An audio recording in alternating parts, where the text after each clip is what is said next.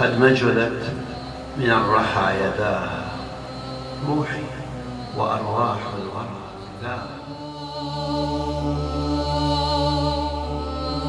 تسبيح الزهراء عليها السلام من أعظم الأذكار. جعفر عليه السلام ما عبد الله بشيء. من التحميد أفضل من تسبيح فاطمة.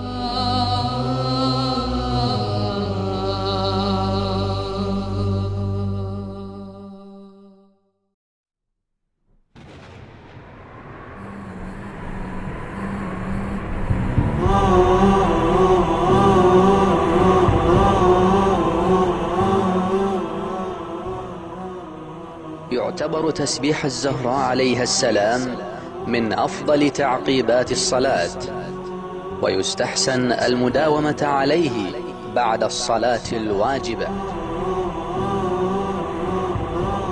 من وين جابه جاب النبي من السماء.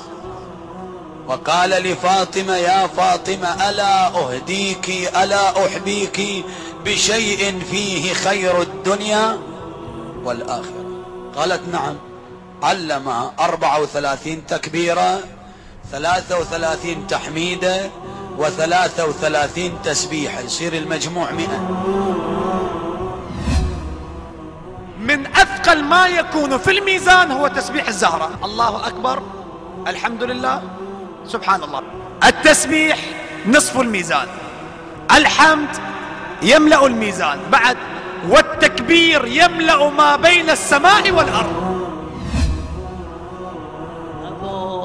عبد الله علیه السلام یقول تسبیح فاطمه. تسبیح فاطمه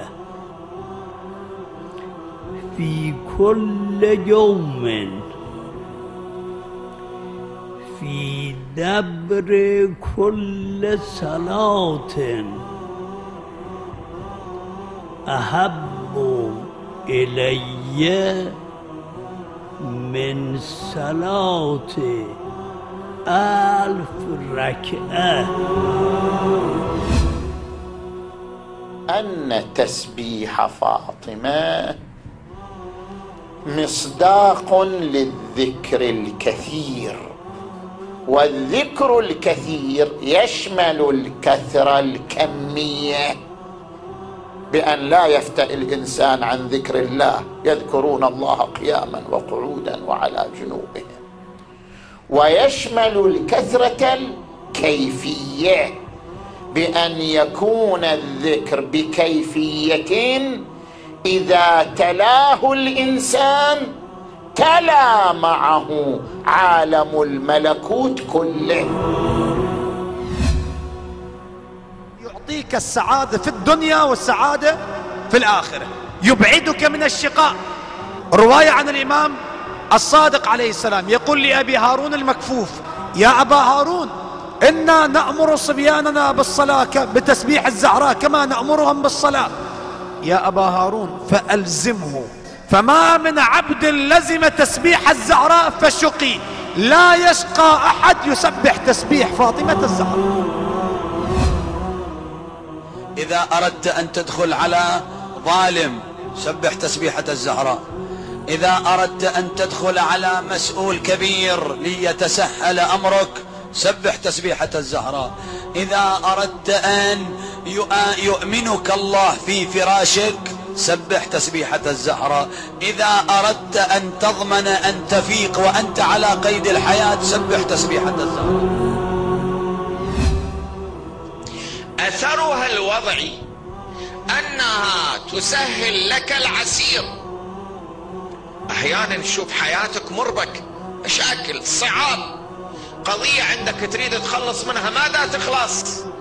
يكفيك أن تأتي بتسبيحة الزهراء. ليش؟ لأن النبي صلى الله عليه وآله هو علمها حتى يقلل عليها عملها ورد عن بعض أئمتنا ما معناه لا تكاد تقبل الصلاة من دون تسبيح أمنا فاطمة. سبيل إلى الجنة طريقك إلى الجنة تسبيح الزهراء. ألا من سبح تسبيح جدتي فاطمة الزهراء وجبت له الجنة.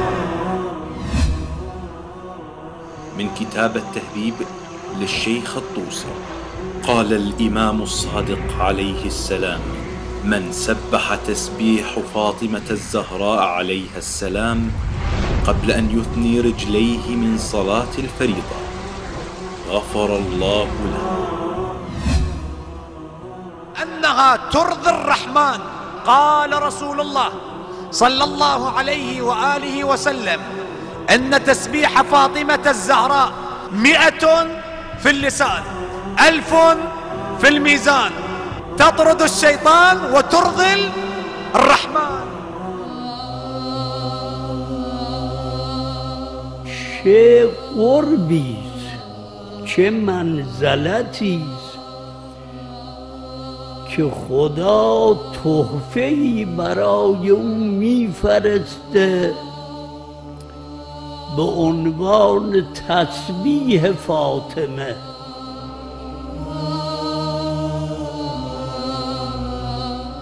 يعني على المسلم ان يكون مع فاطمه في كل وقت. على المسلم ان يكون مع فاطمه في كل حين على المسلم أن تخطر بباله فاطمة. بضعة رسول الله فضائل رسول الله قيم رسول الله كله في فاطمة. على المسلم أن لا يبعد ذهنه عن فاطمة في كل وقت. فالزمه فإن لزومه لزوم لفاطمة. اللي نور تسبيحي.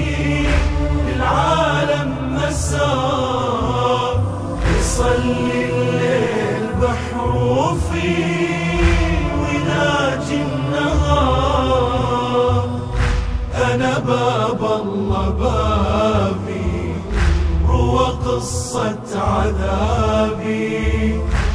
أنا باب الله بابي. روى قصة عذابي.